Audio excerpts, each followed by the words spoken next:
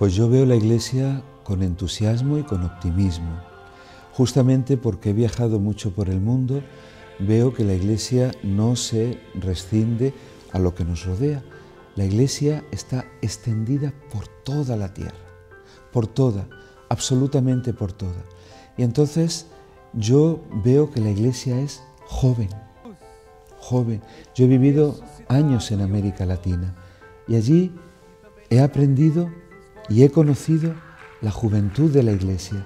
Y al ser la iglesia joven es una iglesia entusiasta. Y al ser joven está radicada en Cristo que nunca muere. En Cristo que verdaderamente está siempre al servicio de la vida. En Cristo que nos muestra caminos de plenitud. Él vino para dar vida al mundo. Por tanto veo a la iglesia joven, veo a la iglesia viva, con multiplicidad de iniciativas, Veo a la iglesia muy cercana también a todos los que están más vulnerables, más desvalidos, más postergados, más preteridos. Allí veo yo muchas, muchas iniciativas eclesiales. Cuando me he movido por el mundo y he visto personas que están realmente descartadas, siempre me he encontrado con un catequista, con un voluntario, con una religiosa, con un sacerdote, con un misionero que está allí, como María al pie de la cruz, ellos están al lado de los que menos tienen. Por tanto, ¿cómo veo yo la iglesia?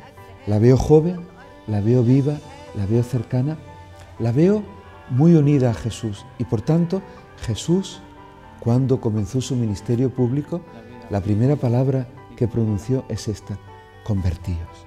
Entonces, la iglesia está en continuo camino de conversión y de reforma para ser cada vez más de Dios y para dejar aquello que le impide estar al 100% al servicio de su misión evangelizadora. La iglesia no está compuesta de personas, podríamos decir, angelicales. Los que estamos en la iglesia somos hombres de carne y hueso, somos peregrinos y el peregrino muchas veces se le pega el polvo del camino y entonces a veces tenemos que sentarnos y limpiarnos los zapatos para poder seguir caminando. Y eso es lo que hace la iglesia también.